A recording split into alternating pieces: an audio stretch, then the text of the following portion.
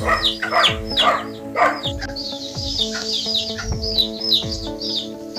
you.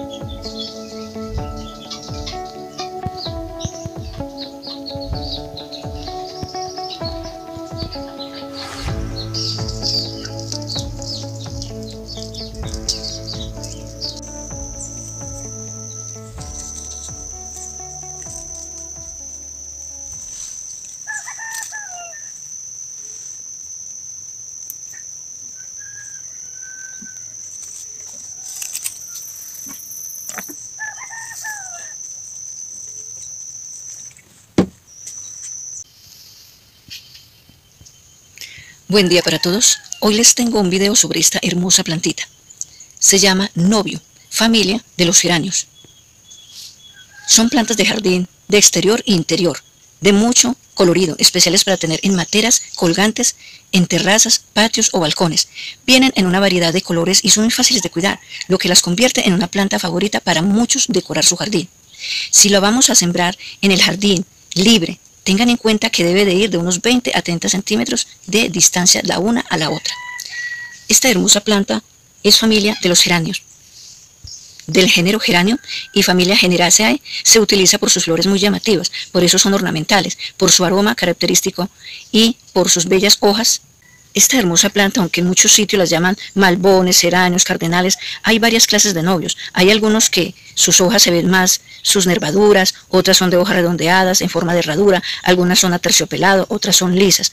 Hay novios blancos, hay novios color rosa, hay color rojo, naranja o salmón. Algunos florecen más en más cantidad, algunas las hojas terminan en punta, similar al del geranio. También hay de hojas variegadas y de flor doble. Los geranios cuelgan sus tallos y los novios sus tallos suben, erectos, como pueden ver acá. Entonces, podemos diferenciar.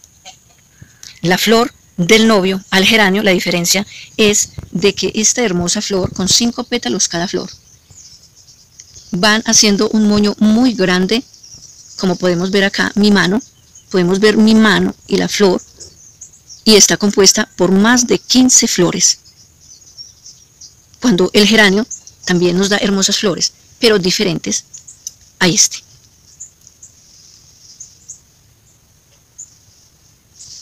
En cuanto a la reproducción, es muy sencillo, por semilla o por esqueje.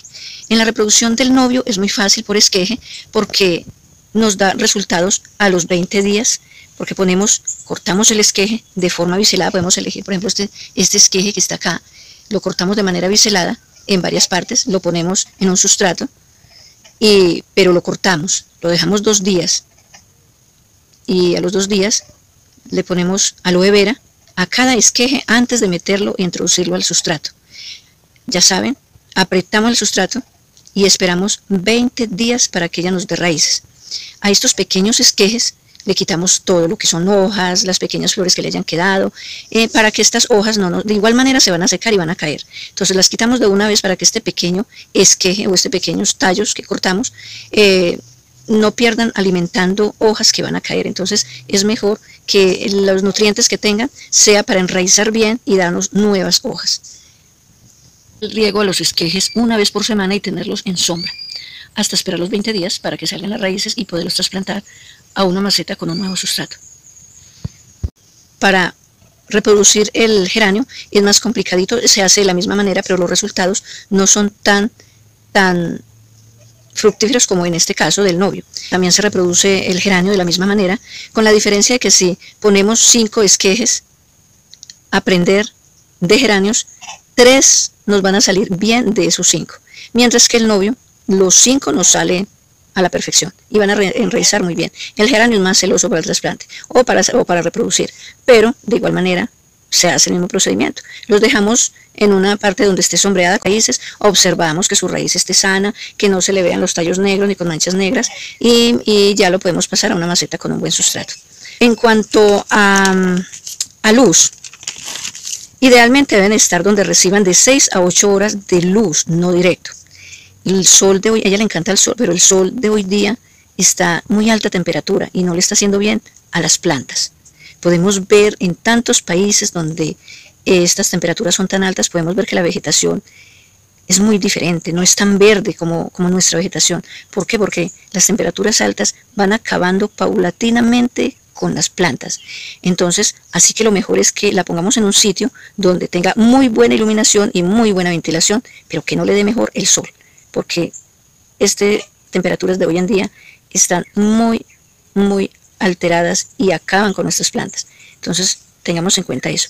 Ella las heladas las detesta, no le gustan las heladas, así que no. En partes frías, hay partes donde tienen esa planta en partes frías y les va bien, ellas son muy resistentes, solo que las heladas sí no la soporta, o un sol muy extremo tampoco la soporta. Se los he dicho en muchos videos, ni el ser humano lo soporta. Entonces, ¿qué nos hace creer que estas hermosas plantas sí lo van a soportar? Entonces, por eso les doy este ejemplo. Estás en una temperatura muy alta, debes de regarla más. O si quieren, más bien, miran el sustrato antes de regar. Si lo ven seco, lo riegan. Esa es la mejor clave para regar nuestra planta y no podrir por riego. hermosa. Bueno, les decía, entonces lo mejor es que le miren el sustrato y si lo ven seco, entonces le hacen un buen riego profundo que le llegue a las raíces, porque así va a ser una planta sana, va a florecer, va a tener hojas fértiles y, y tener muy buena iluminación. En cuanto al sustrato, le encanta la turba, que va compuesta por palitos secos, tronquitos secos, o tierra de capote, que es tierra negra mezclada con hojitas secas, palitos secos que se van desintegrando y van quedando en un abono muy orgánico y en, una, en un sustrato muy sano para ellas y muy nutritivo. En cuanto a riego, acá se riega dos veces a la semana o dejar que el suelo se seque por completo entre riegos y riega profundamente para ayudar al crecimiento de las raíces y que tenga una buena flor y unas buenas hojas, tengamos en cuenta de que, de que los riegos se hacen también dependiendo el clima. Si estás en un clima de altas temperaturas, obviamente hay que regar con más frecuencia. Me preguntan si es tóxica. Esta plantita sí es tóxica para los perros y para los gatos que no faltan en el jardín. Aquí pueden ver un ejemplar. Entonces, como son tan curiosos, por eso es que se usa mucho esta planta como colgante. Bueno, ya les había dicho que esta hermosa planta pertenece al género de geranio, familia generácea, se utiliza eh, por sus flores, por sus llamativas flores, por eso son ornamentales, por su olor característico, su aroma y eh, tiene un nombre científico, pelargonium. Beneficios, tiene muchos beneficios, por Dios, demasiados. Esta plantita tiene, simboliza alegría y positivismo y ya les voy a hablar de los beneficios. Y en cuanto a beneficios, hay muchos. Las propiedades medicinales de esta hermosa planta tiene propiedades antimicrobianas, por lo que es efectiva contra el acné, es descongestionante y suavizante. Por ello se usa en pieles quemadas por el sol o que sufran irritaciones y quemaduras de todo tipo. Es un poderoso remedio contra las estrías y los eczemas. Al ser un potente cicatrizante se usa para curar heridas, hemorroides, con su aceite se dan masajes para aliviar dolores musculares, y problemas circulatorios. Combate la retención de líquidos gracias a los masajes en las piernas y tobillos con la esencia de esta hermosa planta. En aromaterapia se utiliza para reducir el estrés, la ansiedad y los nervios. Se utiliza para meditar e inducir a la relajación. Mejora la micosis en las uñas. Eh, los beneficios de esta hermosa planta para la piel y el cabello. También se usa para desodorantes, limpiado natural de la piel, em, nutre la piel en profundidad, es reparador, evita la formación de grasa en el pelo, promueve el crecimiento del cabello. El desodorante natural se usa como desodorante por sus propiedades antibacterianas que ayudan a eliminar del olor corporal. Limpiador natural de la piel. Su aceite es un efectivo limpiador natural, se puede utilizar directamente en la piel. Por ello se puede usar el aceite como tónico natural, nutre la piel en profundidad. Es un reparador, alivia el enrojecimiento de la piel y la repara. Además aporta hidratación, de aquí a que se utilice en cremas hidratantes para pieles sensibles y secas. Evita la formación de grasa en el pelo, controla la grasa del pelo, ya que funciona directamente sobre todas las glándulas sebáceas en nuestro cuero cabelludo y regula la producción de sebo. Promueve el crecimiento del cabello, también promueve la nutrición y elasticidad del mismo. El aceite de esta hermosa planta se puede añadir al champú para lograr este efecto, además de aportar un excelente aroma a flores. Bueno, eso es todo por hoy. Espero que este video les sirva de algo y muchas gracias por ver este largo video. Abrazos, los quiero y muchas gracias por apoyarme en la página y chao, bye bye. Recuerden, cuidemos nuestro planeta, protejamos nuestros niños, nuestros animales. Abrazos, bye bye. Chao.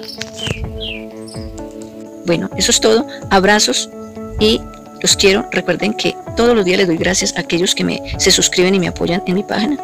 Abrazos. Cuídense mucho. Cuiden nuestro planeta, nuestras plantas, nuestros niños. Y abrazos y que todos los proyectos que tengamos se nos cumplan. Abrazos.